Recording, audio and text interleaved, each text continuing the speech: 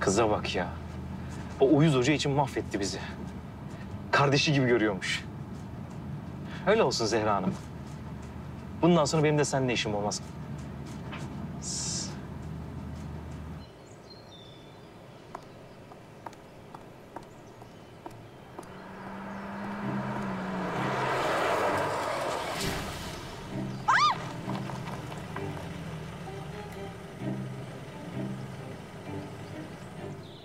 Bu nasıl bir araba kullanmadır kardeşim? Önüne baksana biraz.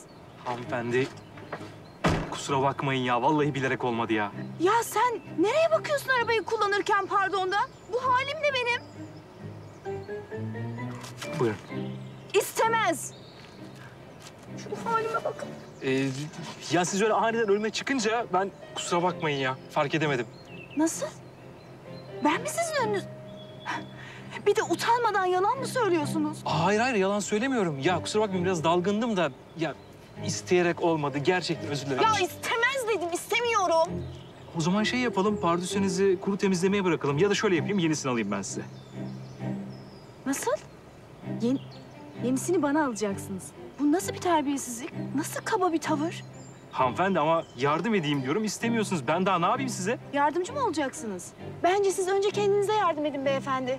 Mesela konuşmayı öğrenmekten başlayabilirsiniz. Kaba adam. Ukalasın, ukala. Hanımefendi kusura bakmayın size daha fazla uğraşamayacağım.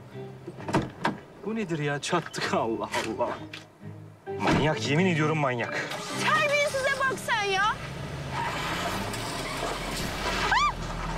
Oo. Ne yaptık lan?